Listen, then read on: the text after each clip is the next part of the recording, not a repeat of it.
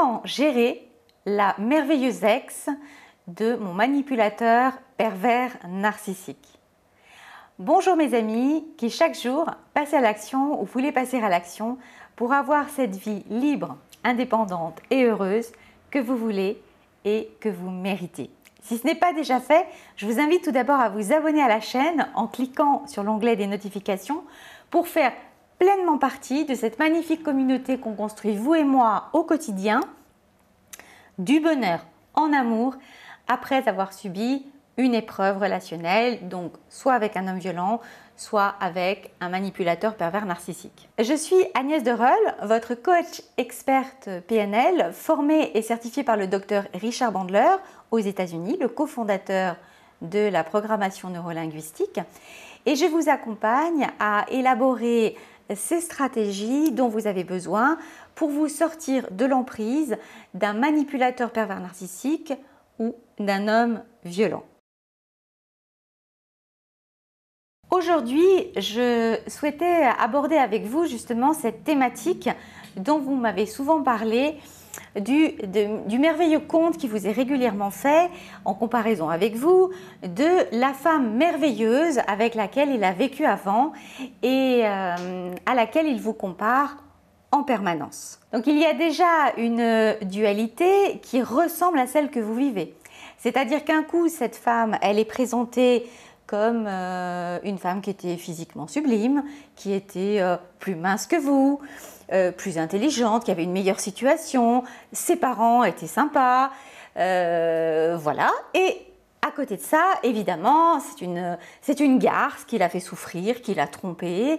Et donc, avec ce chaud-froid toujours permanent, qui se retrouve à la fois dans ce qu'il dit d'elle et dans ce qu'il dit de vous. Donc, quel est le but de ça et qu'est-ce que vous pouvez y faire Alors le but qu'il a, c'est déguiser votre jalousie et euh, de mieux ainsi exercer cette emprise sur vous parce que euh, évidemment les comparaisons sont rarement flatteuses.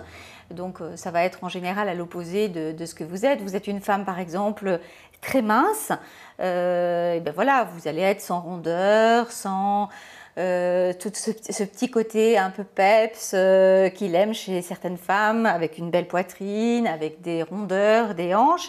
Et vous, alors que vos amis vous envient parce que vous êtes en 34-36, et eh ben là, on va vous dire que vous êtes trop maigre, que vous êtes un sac d'os, enfin, et que rien ne va. Et c'est l'inverse, hein, évidemment. C'est-à-dire que si vous êtes ronde, on va euh, vous dire que vous ressemblez bah, à pas grand-chose à côté des magnifiques top modèles que vous ne pouvez pas porter euh, de beaux maillots de bain sexy, etc. Donc toujours cette comparaison et cette dévalorisation qui touche votre personne intrinsèquement et donc vous ne pouvez pas, euh, sur des éléments que vous ne pouvez pas vraiment euh, changer en fait, hein, qui font partie de vous et c'est pour ça que ça vous touche vraiment personnellement. Donc il s'agit vraiment d'un comportement d'emprise qui est caractérisé et même si euh, là j'ai pris hein, l'exemple euh, de l'apparence physique, hein.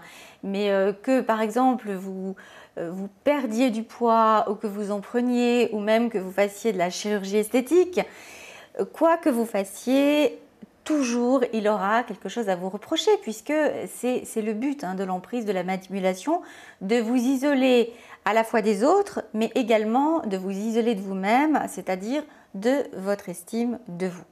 Donc naturellement, je suis là pour vous aider hein, si vous voulez euh, discuter de votre situation particulière et trouver la stratégie pour vous émanciper de cette relation euh, toxique. Vous avez mis toutes mes coordonnées en bas euh, de la vidéo et je réponds bien sûr aux commentaires que vous me faites en bas avec grand plaisir. Alors mon conseil par rapport à cette situation, c'est ainsi de faire comme cette merveilleuse ex, c'est-à-dire de quitter la relation ou de l'accepter. C'est vraiment euh, la meilleure chose qui puisse vous arriver et le meilleur cadeau à vous faire.